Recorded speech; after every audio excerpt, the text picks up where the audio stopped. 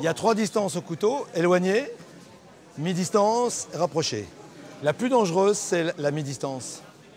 Parce qu'il peut faire plein de choses. À partir du moment où tu es là, tu le contrôles toi. Donc déjà, tu limites ses gestes. Et toi, tu peux faire des choses. Au, au niveau des bras, tu prends où les avant-bras? Ah si. Tu fais une croix ici. Tu vois, je l'accompagne jusqu'au bout. Et là, par contre, je prends le relais pour pouvoir le ramener sur lui. Et là, je reprends le relais.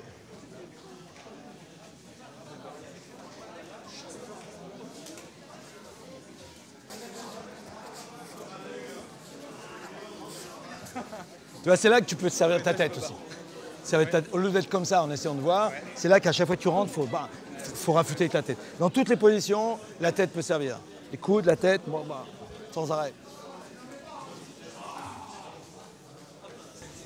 Regardez, ceux, qui, ont du mal à donner, euh, à se servir de la tête.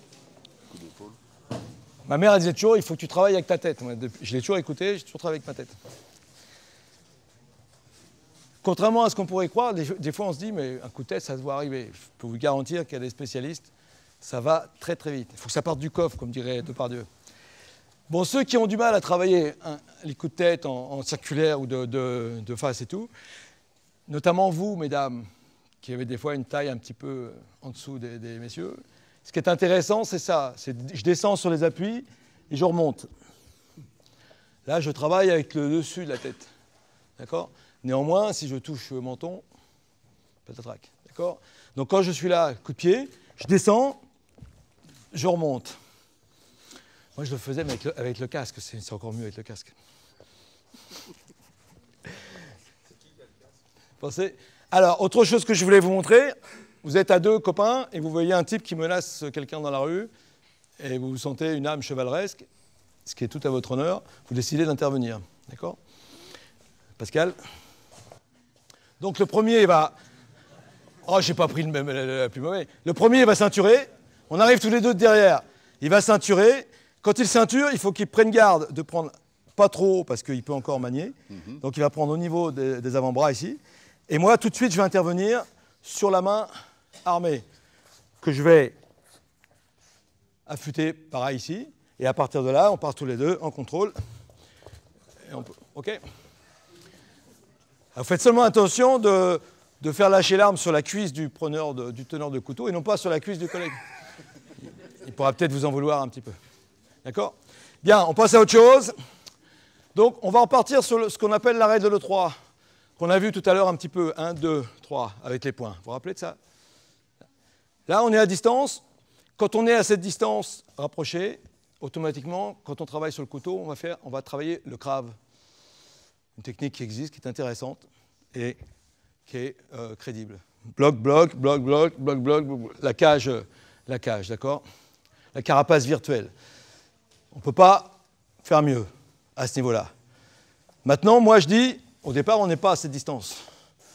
On est, monsieur, restez à votre place. Et là, il y a un coup de couteau qui surgit. Pensez une chose, c'est qu'une agression à l'arme blanche, quelquefois, ça va être le mec qui vous rentre dans la gueule carrément. Vous allez peut-être éviter le couteau, vous allez peut-être pas éviter le mec. Vous allez être dans la garde. Donc moi, j'essaye toujours de sortir de la garde. Donc sur la même attaque qu'on a vue, première chose, ce sera ça. Ça qui me donnera la possibilité éventuellement déjà encore de fuir. Ou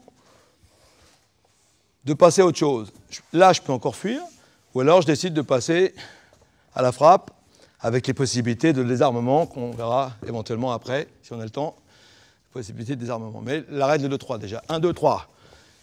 Encore une fois, c'est la moulinette, c'est pas, pas des mouvements trop longs, c'est-à-dire que c'est pas 1, 2, 3, parce que là, il est rentré chez lui, il a pris sa douche, c'est foutu. OK? Il faut que ce soit dans l'instant.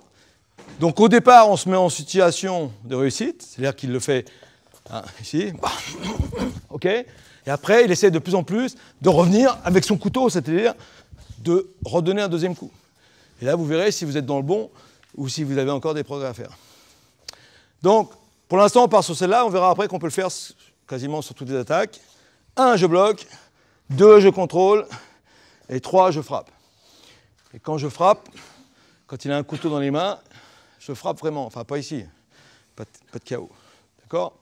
C'est bon pour tout le monde? Ça, c'est un le couteau. Ok. Là, il y a une projection. Ok. Tant pis, vous abandonnez la veste. Ou alors, au sol, vous gardez le contrôle, vous partez en pied pour récupérer et votre veste et le couteau. C'est pas le plus important. Je recommence l'action. Je, je le fais sans la veste pour que vous compreniez. Je fais bloc ici. Je fais 1, 2.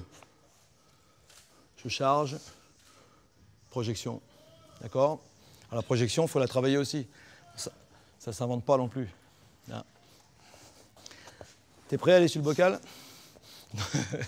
Non, je rigole. Je la refais, donc. Bloc. OK? Contrôle, projection. Vous ferez l'expérience, si vous voulez, vous allez chercher une veste. Vous ferez l'expérience, vous verrez que, un, rapidement, le deuxième tour, la main est bien coincée quand même. Hein, essayez de retirer la main. D'accord Maintenant, en travaillant, je peux travailler ici. Je peux l'amener sur le dos. Je peux l'amener sur le ventre. Je peux partir en aile de poulet. D'accord Vous l'essayez Vous voulez chercher une veste? Allez Le premier, regarde, je fais le tour. J'ai fait un tour. Et là, je reviens dedans pour le deuxième tour. Tu vois comment il est? Là, je peux repasser en clé, euh, en aile de poulet. Je peux pas travailler en désarmement. Si je, si je le fais sans la veste, regarde, ça fait ça. Je fais un. Et quand je suis ici, je replonge pour un deuxième tour. Là, tu me poses la question au piège un petit peu, parce que je pense qu'on peut en effet bloquer d'un côté ou de l'autre, euh, Ah ouais. avoir, ah ouais, à ah ouais. obtenir à peu près le même résultat, toi. Après, il faut le travailler là-dessus. En haut, c'est pareil. En haut, euh, un petit un peu plus délicat, quoi. Là, on va terminer par un petit, un, un petit assaut, un, un petit travail souple. Alors, des petites choses à, à savoir. Déjà, on n'attaque jamais quelqu'un avec un couteau. À partir du moment où il vous attend, il essaye de vous faire déclencher quelque chose. Si vous déclenchez, automatiquement, vous vous ouvrez. Vous donnez un coup de pied, vous attrape la jambe et fait les jambons. Vous donnez un coup de poing, c'est pareil. Il peut vous, tailler dans les bras, dans les jambes. Donc on travaille toujours en contre-attaque. Ça permet aussi d'être en, rapport avec la légitime défense, encore une fois. C'est-à-dire que s'il a le, couteau à la main, ça s'est produit là, j'ai vu des trucs assez intéressants. Le mec qui dit euh, T'aurais pas 2-3 euros, toi? Ok. Et le mec, il a peur, il donne ses sous et tout. Il porte plainte. Et l'autre, il dit Ben non, euh, j'avais un couteau à la main, mais j'ai jamais été menaçant. D'accord? Donc c'est toujours un petit peu aléatoire. Donc là, par exemple, déjà, il vous menace avec le couteau. Ça, si vous attaquez euh, de but en blanc, vous prenez des risques et, et encore une fois, ça peut se retourner contre vous. Donc le principe, ce sera toujours de travailler en contre-attaque. C'est-à-dire qu'à partir du moment où il y a le coup de couteau, déjà je gère ce coup de couteau et je peux frapper, d'accord? Toujours quand le couteau est passé. Et toujours très vite, parce que le couteau ne va pas rester. Là, il me fait, encore plaisir. hein. Pensez que le couteau, il ne va pas rester là. Évidemment, il ne faut pas que ça dure. Nous, on fait durer un exercice. Dans la réalité, ce sera projection des doigts dans les yeux. Et quand on, les, on les fait dans les yeux, on les fait vraiment dans les yeux. Et on fait pour faire mal. Et la gorge, et les pied, ce sera génital. Ligne basse, d'accord ne, ne commencez pas à me faire des pied à la lune.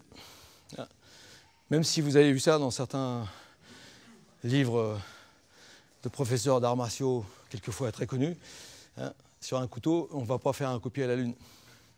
Parce que dans la rue, ça glisse. On n'est pas forcément préparé à ça.